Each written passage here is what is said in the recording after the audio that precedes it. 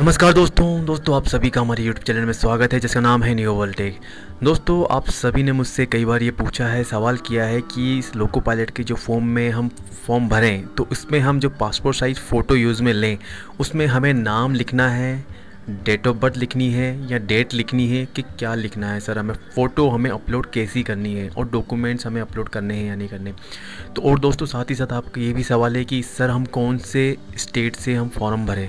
जी हाँ दोस्तों, कि कौन से जोन से हम फॉर्म भरें? तो आप सभी के इन सवालों के जवाब मैं इस वीडियो में लेकर के आया हूँ। तो आप सभी से रिक्वेस्ट है प्लीज़ प्लीज़ हमारे चैनल को आप आज ही सब्सक्राइब करें। वीडियो के नीचे इस रेड बटन पर ज़रूर क्लिक करें और घंटे के आइकन को ज़रूर दबाएँ जिससे हम जो भी वीडियो अपलोड करेंगे, जो भी इन्फॉर्मेशन हम आपको देंगे, सबसे पहले वो आप सबसे पहले आपको प्रोवाइड की जाएगी हमारे चैनल के माध्यम से। और दोस्तों वीडियो पसंद आने पर आप इसे लाइक और शेयर ज़रूर करें। प्लीज़ दोस्तों, आगे चलते हैं, जानते हैं। तो दोस्तों, सबसे पहले हम बात करेंगे फ़ोटो की। तो मैं आपको फ़ोटो का डेमो दिखा देता हूँ। ये देख सकते हैं आप। आपको सिर्फ़ फ़ोटो को ये आप देख सकते हैं कि ये आपकी फ़ोटो हो जाएगी और ये यहाँ पर आपका नाम आएगा और जिस तारीख को आपने फ़ोटो खिंचाई है वो फ़ोटो की आपको डेट डालनी है। यहाँ पर आपकी डेट ऑफ़ बर्थ नहीं डालनी है क्योंकि यहाँ पर सिर्फ़ पूछा गया है आपसे डेट डेट के बारे में और नाम के बारे में। तो आपका जो पूरा नाम है वो आपको यहाँ लिखना है। जो भी आपकी मार्कशीट में जो पूरा नाम है, वही पूरा नाम लिखना है। आपको आपका नाम आधा नहीं लिखना है शॉर्ट नहीं लिखना है। पूरा जो आप मार्कशीट में लिखा हुआ है, वही नाम आपको पूरा यहाँ लिखना है और आपकी डेट जिस डेट को आपने वो फ़ोटो खिंचाई है। ठीक है दोस्तों, अब मैं आपको इंपॉर्टेंट चीज़ बता देता हूँ इस फ़ोटो के लिए कि फ़ोटो में आपको सबसे पहले तो ये कलर फोटोग्राफ फोटोग्राफ होनी चाहिए। यहाँ पर साफ़ लिख रखा है कि the colour passport size photograph with white light colour background आपको ध्यान रखना है कि वाइट कलर का बैकग्राउंड होना चाहिए, सबसे लाइट कलर में होना चाहिए। ठीक है दोस्तों, ये इंपॉर्टेंट चीज़ है इसके लिए। ठीक है दोस्तों, कईयों ने मुझसे पूछा भी था कि सर बैकग्राउंड कलर होना चाहिए या वाइट होना चाहिए तो आप सभी के लिए यहाँ पर जवाब है क्योंकि ये ऑफिशियल नोटिफिकेशन का ही है मेरे पास लिखा हुआ है। तो यहाँ पर आपको वाइट और लाइट कलर बैकग्राउंड होना चाहिए, ठीक है दोस्तों? फ़ोटो का साइज़ आप देख सकते हैं, यहाँ पर पैंतीस एम mm का और पैंतालीस एम mm का साइज़ होना चाहिए। इसकी हाइट और विर्थ होनी चाहिए साइज़ ठीक है?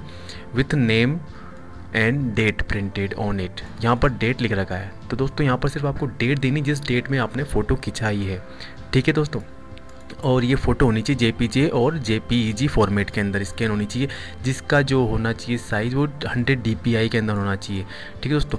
The size of photograph should be between 50 से 40 के के अंदर होना चाहिए आपका। ठीक है? 40 से यानी 15 से 40 साइज़ के बीच में होना चाहिए के be the colour photograph must have been taken on और आफ्टर वन एक, बारह, दो हज़ार सत्रह के बाद की फ़ोटोग्राफ होनी चाहिए। ठीक है दोस्तों? तो इसका विशेष तौर पे ध्यान रखें कि एक दिसंबर 2012 के बाद की फ़ोटोग्राफ होनी चाहिए आपके पास में, जो भी आप फ़ोटो अपलोड करोगे उसको। ध्यान रखना स्पेशली। ठीक है दोस्तों? In a professional studio photographs. ठीक है? Taken using mobile and selfie compose partials may result in rejection आप ध्यान रखिए, इस चीज़ का, इस लाइन का बहुत इंपॉर्टेंट लाइन है कि आप अपने मोबाइल से खिंची हुई फ़ोटो यहाँ पर अपलोड नहीं कर सकते हैं। ठीक है दोस्तों, वो आपकी फ़ोटो रिजेक्ट कर दी जाएगी, यहाँ पर स्पेशली लिख रखा है। ठीक है? The photo should have clear front view of the candidates without cap ये ध्यान रखना without cap and sun glasses आपके सर पे टोपी नहीं होनी चाहिए और आपके गॉगल नहीं लगा होना चाहिए। ब्लैक कलर का चश्मा बिल्कुल नहीं होना चाहिए। ठीक है दोस्तों? the face should occupy at least 50% of the area of the photograph with a full face view, looking at the camera directly. ठीक है दोस्तों कैमरे के सामने एकदम आपका फेस होना चाहिए, बिल्कुल सामने की तरफ़। बहुत इंपॉर्टेंट लिंक है, ये बात है जो आपको बिल्कुल ध्यान रखनी है इस फ़ोटो के लिए। The main feature of the face must not be covered by hair आपके फेस में बालों, बाल बिल्कुल नीचे नहीं होने चाहिए। चेहरा बिल्कुल ढका नहीं होना चाहिए बालों से। ऑफ़ द हेड ठीक है दोस्तों? एनी क्लॉथ कोई भी कपड़ा नहीं होना चाहिए और एनी शेडो कोई भी छाया नहीं होनी चाहिए। फ़ोटो के सामने किसी की छाया नहीं होनी चाहिए, ठीक है? ध्यान रखना इस चीज़ को। Forehead eyes nose and chin should be clearly visible दिखते हुए होने चाहिए आपके नाक, गाल नाक, गाल, ठुड्डी, जो भी होनी चाहिए ना, आपके सब दिखते हुए होने चाहिए। In case of the in case the candidates wear glasses अगर आप ग्लासेस पहनते हो नंबर वाले चश्मे पहनते हो then the photograph should should not have any glare on glasses ठीक है दोस्तों? तो आप अगर यहाँ पर बोल रहा है कि तो आपने जो नंबर के चश्मे पहन रखे हैं, उस चश्मे पर आपके कोई भी चमक नहीं होनी चाहिए जिससे आँखें ना दिखें। आँखें दिखती भी होनी चाहिए चश्मे के नम, चश्मे वाले नंबर पर पहने हुए पर आप, ठीक है दोस्तों? ध्यान रखना इस चीज़ का। The photograph must watch with the candidate appearance on the day of various stages of C B T and D V तो आपको ध्यान रखना है कि कंप्यूटर बेस्ड टेस्ट जो होगा, वहाँ पर भी आपको फ़ोटोग्राफ की ज़रूरत पड़ सकती है और डॉक्यूमेंट वेरिफिकेशन में। तो ये फ़ोटोग्राफ्स आपको सभी ही वहीं यूज़ में लेनी है। यहाँ पर लिख रखा P W D candidate should also upload passport photograph as per above specification only and not the full body ठीक है दोस्तों, यहाँ पर P W D candidate candidate जो कैंडिडेट जो हैं फ़िज़िकल जो हैंडीकेप कैंडिडेट्स हैं, उनके लिए भी यही रूल्स लागू होते हैं। ठीक है दोस्तों? ठीक है? अब photograph use in disability certificate ठीक है candidate are advise to keep at least twelve copies आपको बारह फ़ोटो जो है, एक ही पासपोर्ट साइज़ के जो आप खिंचा रहे हो, उसकी बारह कॉपी होनी चाहिए आपके पास में फ़ोटो की। तो बारह फ़ोटो आप संभाल के रखनी है आपको पूरे प्रोसेस के अंदर। Copies of the same photographs for further use in as and when require during the requirement process ठीक है दोस्तों? तो आपको पूरे प्रोसेस में 12 फोटोग्राफ्स की रिक्वायरमेंट पड़ सकती है तो आपको पूरी 12 फ़ोटो निकलवा के रखनी है, वही सेम की सेम ठीक है दोस्तों? तो दोस्तों, ये काफ़ी इंपॉर्टेंट टॉपिक था आप सभी के लिए क्योंकि आप लोगों के काफ़ी सवाल थे तो मैंने आपको इस वीडियो के माध्यम से इस सवाल को अपने, आपके लिए क्लियर कर दिया है। तो ये फ़ोटो का आप डेमो देख सकते हैं। बिल्कुल आपको एज इट इज़ ऐसी ही ऐसी ही फ़ोटो खिंचवा के रखनी है आपके लिए, ठीक है? अब हम बात करते हैं कि आपको किस वैकेंसी के लिए, किस स्टेज पर स्टेट स्टेट्स के लिए आपको आवेदन करना है। तो मैं सब, मेरे मेरे एक्सपीरियंस के हिसाब से मैं आप सभी को यही गाइड करने चाह, करना चाहता हूँ कि आप जिस स्टेट से हैं कोशिश करें, उसी स्टेट के लिए आप आवेदन करें। जी हाँ दोस्तों, जिस स्टेट से हैं, उस स्टेट के लिए आप आवेदन करें। आप ये ना देखें कि जैसे कि यहाँ पर तीन हज़ार दो सौ बासठ सिकंदराबाद के सबसे ज़्यादा पोस्ट हैं और जैसे कि यहाँ पर भी है, रांची में भी पोस्ट ज़्यादा हैं, यहाँ पंद्रह सौ यहाँ पर भी ज़्यादा हैं, चार हज़ार पोस्ट इलाहाबाद में भी ज़्यादा है। तो मैं यहाँ पर जाऊँ, क्योंकि एक्चुअली आप यहाँ जाओगे तो यहाँ पर ऑलरेडी आपके ही सोच से दूसरे कैंडिडेट्स भी आएँगे।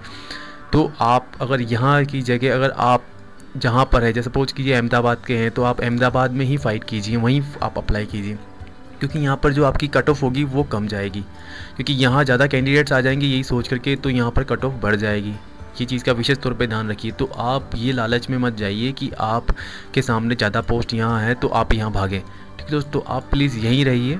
आपके लिए बहुत बेस्ट है कि आप जहाँ जिस स्टेज में हैं स्टेट स्टेट्स के अंदर हैं, वहीं आप अप्लाई कीजिए। दूसरे स्टेट्स में ना जाएँ, क्योंकि कट ऑफ़ बढ़ जाती है ऐसे में।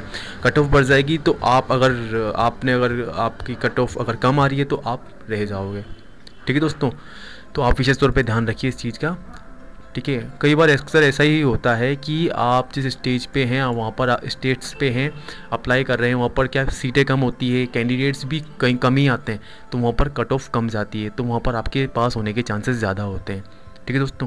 तो आप सभी का मैंने सोचा कि आपको इस वीडियो के माध्यम से इस बात को भी क्लियर कर दूँ, और एक सबसे बड़ी बात कि आप एक पोस्ट के लिए सिर्फ़ एक ही बार आवेदन कर सकते हैं। अगर आपने दो फॉर्म भर दिए तो आपकी रिजेक्ट हो जाएगा एप्लीकेशन आपकी। विशेष तौर पे ध्यान रखें आप दो फॉर्म भरने ही नहीं है आपको सिर्फ़ एक ही फॉर्म भरना है। बहुत ही विशेष तौर पे ध्यान रखें यहाँ मैंने इसीलिए इस, इस लाइन को स्पेशली आपके लिए क्लियर किया है। Application are to be submitted only through R R B website listed in para online ठीक है? Online only one one application only is required to be submitted for all the notification post in this CEN. Any attempt by a candidate to submit more than one application against. This CEN shall result in disqualification and deterrent. ठीक है? तो ये चीज़ का आप विशेष तौर पे ध्यान रखें। आपके लिए बेस्ट ऑफ़ लक और आप थोड़ा ध्यान रखें, अपने तैयारी पे ध्यान रखें। आप फॉर्म पे ही ध्यान ना रखें। आप अपनी तैयारी भी साथ साथ करे जाए क्योंकि आपके पास समय नहीं है, क्योंकि फ़र्स्ट स्टेज का एग्ज़ाम आने वाला है। मैं अपने नेक्स्ट वीडियो में आपके लिए सिलेबस और एग्ज़ाम पैटर्न की अच्छे से क्लियर करने की पूरी कोशिश करूँगा। तो आप सभी से उम्मीद है कि आप इस वीडियो को पसंद करें लाइक करें और शेयर करें और प्लीज़ हमारे चैनल को आप सब्सक्राइब कर ज़रूर करें। हम आपके लिए लेटेस्ट जो भी इन्फॉर्मेशन होती है हमारे चैनल के माध्यम से लाने की पूरी पूरी कोशिश करते हैं। अगर आपने सब्सक्राइब कर रखा है हमारे चैनल को तो आपको वो अपडेट्स प्राप्त हो जाती है और अगर आप नए हैं तो प्लीज़ आप आज ही हमारे चैनल को सब्सक्राइब ज़रूर करें। थैंक यू दोस्तों thank you so much best of luck